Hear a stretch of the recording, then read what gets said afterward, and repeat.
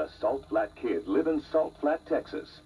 Fired when the ranch owner catches them singing and dancing instead of working, they set out on a 2,000-mile trip to Nashville.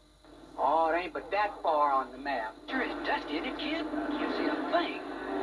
Well, that's the first, ladies and gentlemen, a pickup truck in a demolition derby. Oh,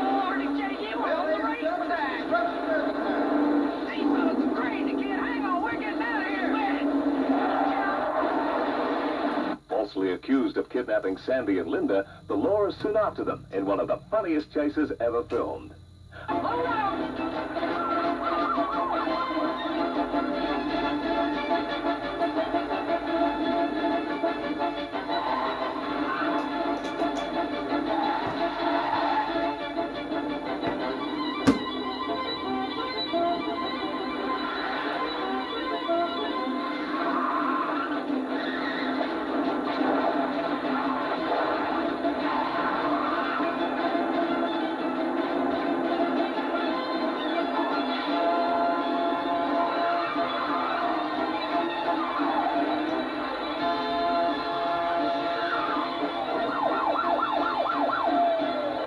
Arriving in Nashville, they meet Marcy, former singer and now auto mechanic. Hey, you two fellas up there. You want me to call off my dog? You've been up there about five hours. I figured that ought to be enough. Unless you were a couple of them real tough characters. No, ma'am, we ain't. We come 2,000 miles to get on the Grand Ole Opry and we can't even get an audition. Yeah. Well, don't worry about it. I'll figure out something. Come on. How they get to finally star on the Grand Ole Opry is one of the funniest parts of Smokey and the Good Time Outlaws.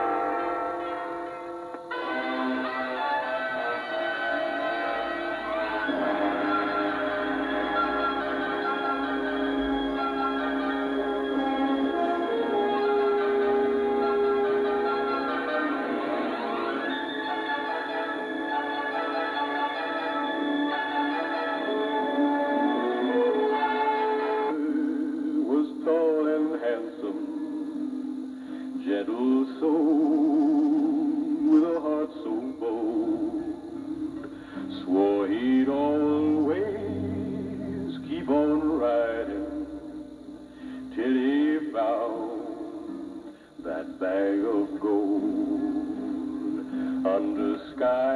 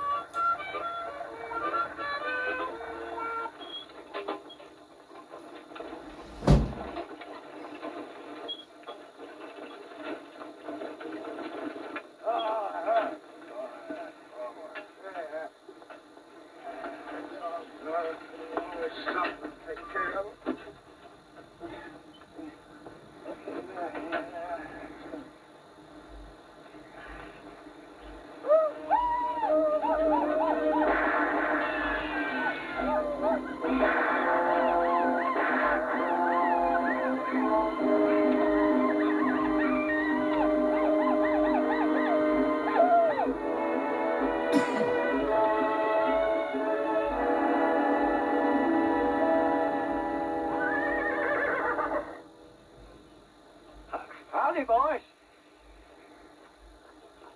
I'm Tennessee Thompson, son of Dixie. Ain't causing nobody no harm.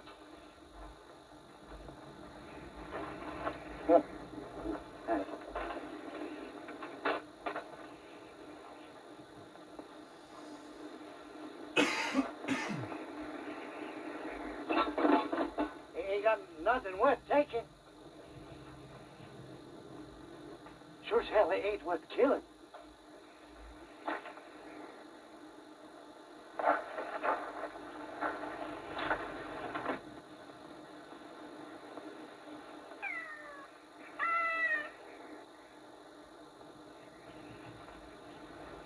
Just a load of pussycats. They're taking him to Deadwood.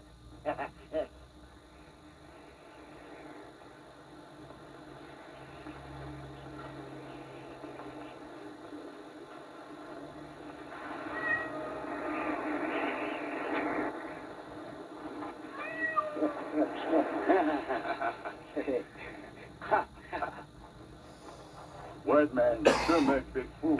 yeah, I've been a big fool ever since I had General Grant in my sights at Shiloh. Didn't pull the trigger.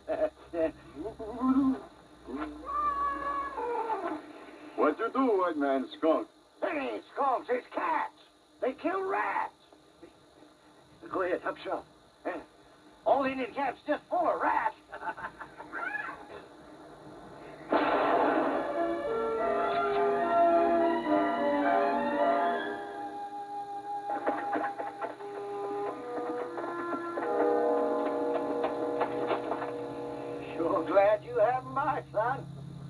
the rifle. Yeah. Give me that pussy.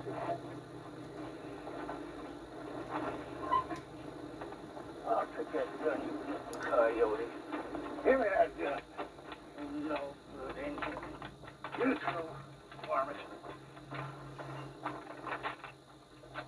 Call my pussycat skunks, will you? Try to kill me, will you? I'm gonna blast your thieving head off. Don't be feeling your own, old timer. You ain't aiming to turn these grunting hyenas loose, be you? They cause you no harm. Cause me no harm. They was gonna kill me, shoot me down like a rat. Be on your way. You can't trust them Indians, boy. I said get. The only good Indian is a dead Indian. Confounded youngins. Graveyard is full of your kind, boy. And for doing what you just did. Confounded youngins letting them Indians go. I don't know what this young generation's coming to anyway. They so confounded mad. I... Where you heading? Deadwood. So am I. Well, you just better come along with me then, if you ever expect to get there. Wide Dakota country,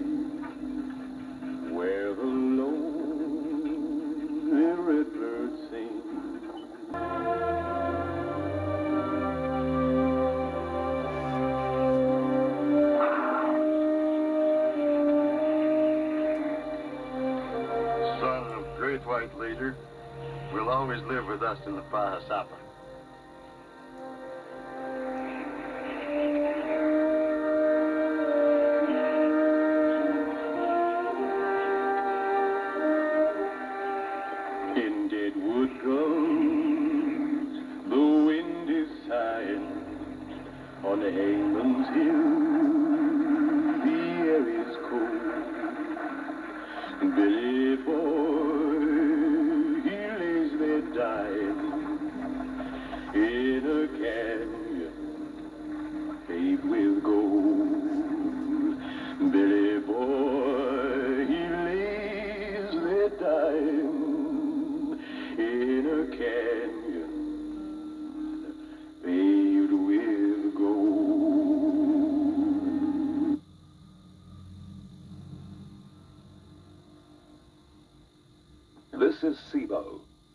Is an Indian half-breed.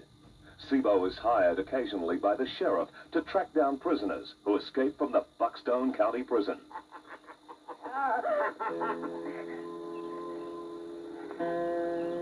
All right. You can have some too. But I'm first. Now, I'm gonna count to three, boy. And I want you to be gone. One, two. You're all right, girl. This is the deputy sheriff. His name is Jess. Jess hates Seabo. Jess goads Seabo into a fight and has him jailed. Now I want to ask you some questions about them prisoners you murdered. Steve-O, Yes, Steve-O ain't done nothing. Now you get your tail off my property. now Effie, you shut up. This is official business. I'm taking Steve-O in. I just soon take you with him. Why don't you just do Well, I just might. You got business with me. You do it with me. Steve-O! Seabo is brutalized and beaten into submission by the guards and the warden. This is the warden. He needs to be rehabilitated. And I don't know nobody who can rehabilitate better than you two can.